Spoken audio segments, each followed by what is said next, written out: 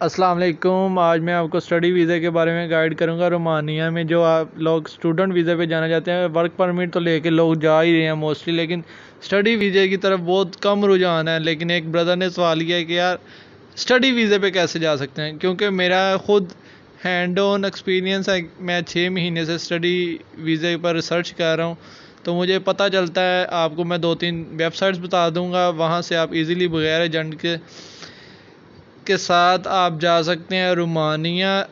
Romania में जाने के लिए आपको इंटरमीडिएट होना बिल्कुल ज़रूरी है। आर्ट्स की कोई रिक्वायरमेंट नहीं है, लेकिन एक साल आपको वहाँ रोमानियन लैंग्वेज में कुछ करना पड़ेगा। आगे जी बात करते हैं, आप फ़ीसिस की, फ़ीसिस इस हिसाब से होंगी, जिस सिटी में अगर आप कैपिटल में पढ़ेंगे और जो भी यूनिवर्सिटी की अपार्टमेंट अकोमोडेशन होगी, उस हिसाब से आपको फ़ीस देनी पड़ेगी। लेकिन अगर बात की जाए एवरेज फ़ीस वो हैं 400 यूरो, जो कि वहाँ एवरेज सैलरी भी है। आपको बात ये कर दें, आप चैट पढ़ सकते हैं। अगर आप इंग्लिश जानते हैं, मैंने एक रोमानिया एम्बेसी में ख़ुद अप्लाई किया था। जो कि जो भी उन्होंने कहा है वो आपके सामने 420 यूरो एक मंथ की फ़ीस है स्कॉलरशिप भी हो सकती है, लेकिन वो एक सीजनल होती है। उसमें आपको एक रोमानियन सर्टिफिकेट चाहिए होता है। कोर्सेज में इंग्लिश में लेना चाहते हैं या रोमानिया में।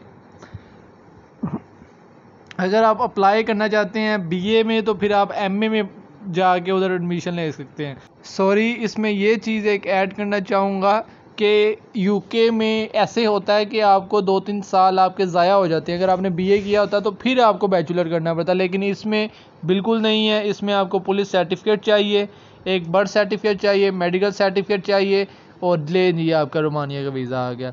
अगर आप भी अप्लाई करना चाहते हैं तो कोई मसला नहीं। मैं अपना भी पोर्टल एक वीक में बनाने जा रहा हूँ, लेकिन आप अगर बगैर मेरे थ्रू कराना चाह रहे हैं तो आपको एक मैं वेबसाइट बता देता हूँ फ्री वे जिसमें आप मुख्तलिफ़ यूनिवर्सिटीज़ में ख़ुद अप्लाई कर सकते हैं ऑल अराउंड द यूरोप